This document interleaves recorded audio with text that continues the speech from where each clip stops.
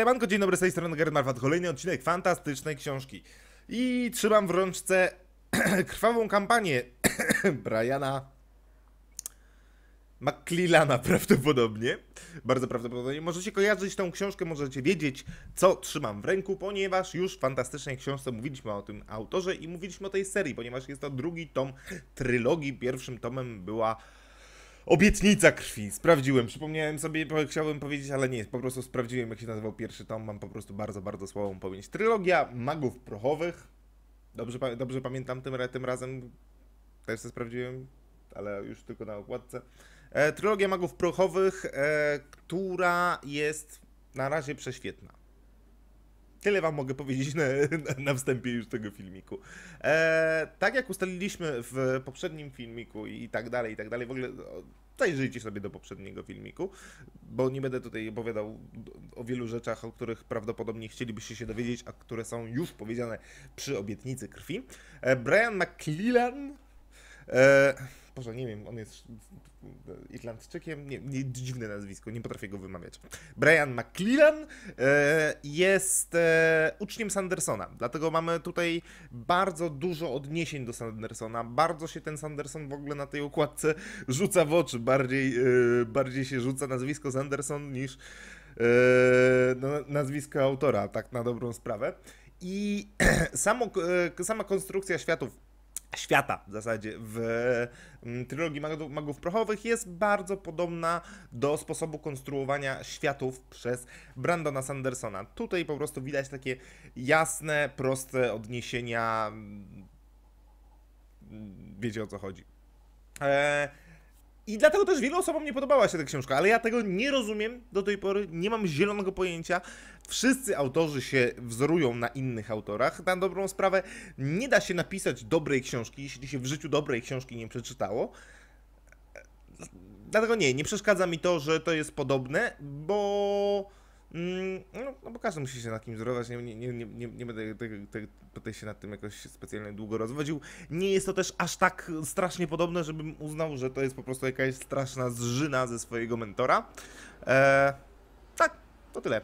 E, Świat jest bardzo dobry, dobrze stworzony, nie jest aż tak bogaty jak u Sandersona, ale takim największym plusem e, krwawej kampanii jest to, że to, to nie jest typowy drugi tom. Ja też mówiłem wielokrotnie, ja wiem, że e, i udowadnialiście mi to i kłóciliście się ze mną, ale ja dalej mam tą teorię. E, drugie tomy zazwyczaj są słabe. A czy są słabe? Są przerywnikami? Może trochę. W drugich tomach, jeśli ktoś pisze trylogię, więcej tłumaczy się świata, tła, e, daje się jakiś kontekst do tego, co się dzieje w, w całej serii. E, bo tak, pierwszy tom ma zachęcić, jakoś wprowadzić nas w ogóle w, w to wszystko. Drugi tom rozwija, ale suma summarum nic się w nim specjalnego nie dzieje. I dopiero w trzecim tomie mamy konkluzję. Wiem, są książki, które e, odchodzą od tego schematu, ale coś takiego jest. Zazwyczaj druga książka autora, zwłaszcza jeśli jest to, jest to książka w serii, nie jest najlepsza.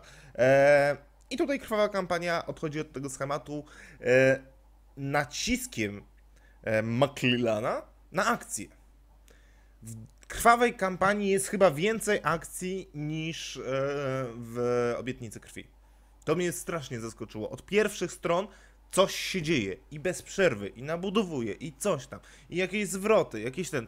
Sporo wsadził w to jakieś polityki, i jest wojna, i jest polityka, i jest wszystko. Także mamy dużo. Mm, człowiek się nie nudzi. Nie mamy takiego, dobra, jakoś przez to przebrnę, żeby zobaczyć, co będzie w trzecim tomie, tylko mamy naprawdę zajebisty kawał fajnej książki. To w zasadzie w, w tym momencie mógłbym skończyć filmik.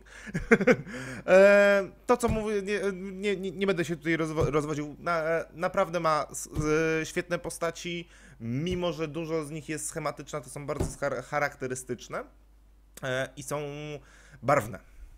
I dobrze zrobione. I dobrze opisane. E, coraz bardziej podobają mi się niektóre relacje pomiędzy postaciami. Coraz bardziej. Jestem ich coraz większym fanem. E, a resztę musicie zobaczyć sami. Fabuła coraz lepsza i, i tylko czekać na, e, na Jesienną Republikę, tak się nazywa trzeci tom. Udało, mi się, udało mi się zobaczyć. Fabuła coraz lepsza, świat wciąż genialny.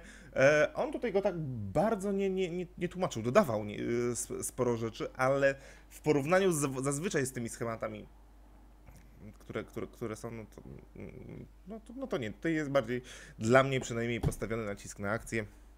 Mm, Co się ceni? Co się ceni? Chociaż też jest tłumaczona ta, e, e, tłumaczony ten świat, ale, ale nie tak, nie jest położony tak duży nacisk, jakby mógł być, zwłaszcza patrząc na to, że to jest uczeń Sandersona, a Sanderson sobie rozwija i, i, i- leci w tych światach, jak to tylko on potrafi. Czy powiedziałem wszystko? Przeczytajcie sobie, polecam, śmiało. E, zacznijcie od pierwszego. O, to jest bardzo ważne. To jest bardzo, bardzo ważna rzecz. E, zazwyczaj, jak sięgamy po jakieś książki z serii, zdarza nam się sięgnąć po drugi, e, trzeci tom. E, I są autorzy, którzy piszą tak jak na przykład e, Pikara. W każdym tomie e, coś mu śmierdzi, e, albo to on jest biedny, albo to to tamto, albo to to sramto.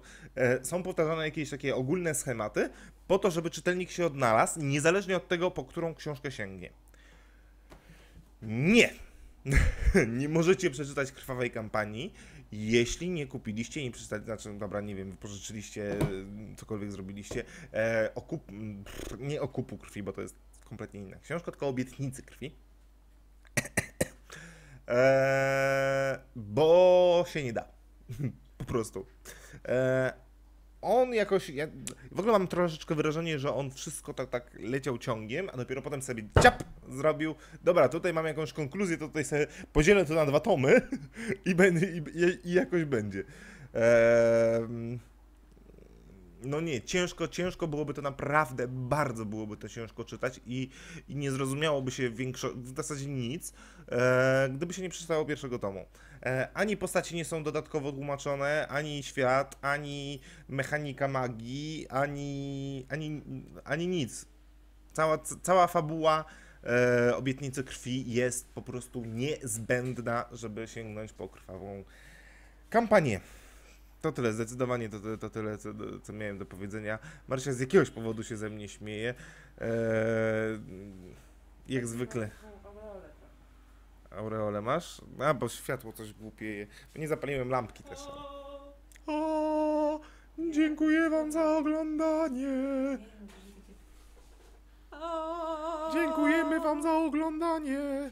Pamiętajcie, aby zostawić łapkę w górę i subskrybujcie kanał i przeczytajcie książkę i piszcie jakie książki chcecie inne i Marysia skończy. Amen. Nie wiem. To było obrazoburcze. Dobra, dzięki, na razie i cześć.